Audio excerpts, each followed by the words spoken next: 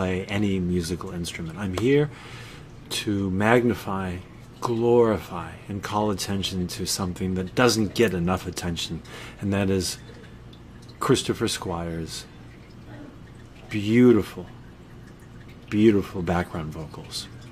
And I'm going to choose two well known Yes tunes here to call attention to some of the bits that just are bliss.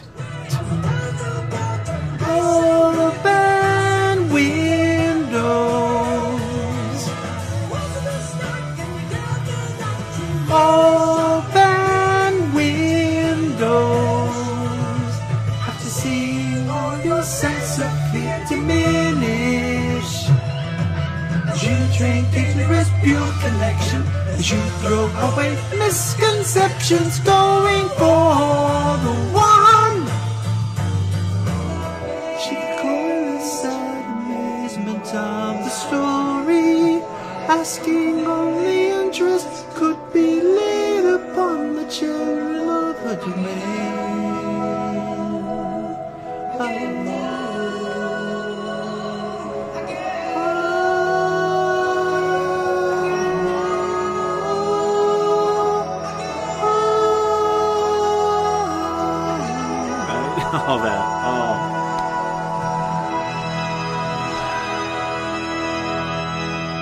Chris Squire,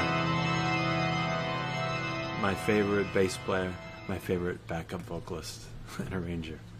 That's what I wanted to call attention to on this play, and in this case, sing. Not so good for Chris.